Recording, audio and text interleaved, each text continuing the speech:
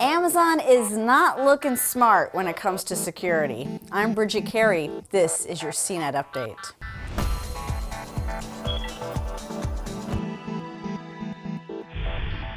In a time where consumers are counting on tech companies to keep their data secure and encrypted, Amazon is choosing to leave its Fire tablets vulnerable and it stopped protecting the data stored on the devices.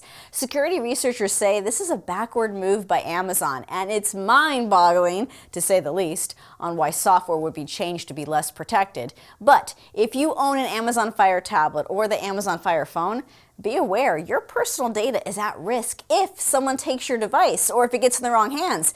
It's an attractive target for thieves. Now, to understand what's happening, we have to go back to this past fall when Amazon released new Fire tablets with an operating system called Fire OS 5.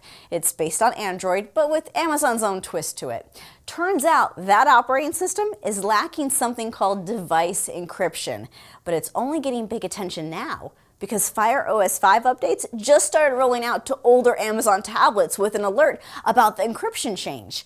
One security researcher, David Scovetta, posted on Twitter this message about losing encryption. It popped up when his Fire tablet wanted to upgrade.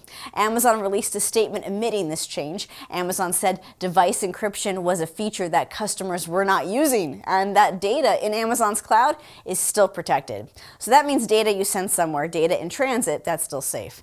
But if you have this newer operating system, you may want to avoid saving sensitive photos or documents to the hard drive.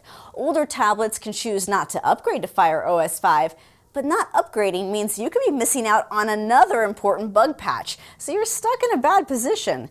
Security researchers say this goes against basic security fundamentals. One theory is that Amazon may have done this to help its devices run faster, but Amazon has not yet responded to questions about the reasoning behind the move.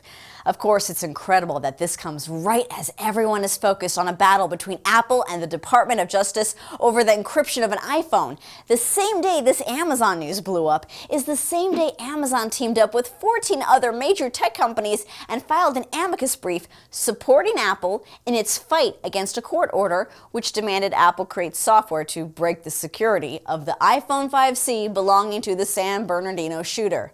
Now, many other tech companies and industry groups also supported Apple by submitting separate statements. Apple heads back to court with the FBI on March 22nd. That's it for this tech news update, and you can head to cnet.com for more. From our studios in New York, I'm Bridget Carey.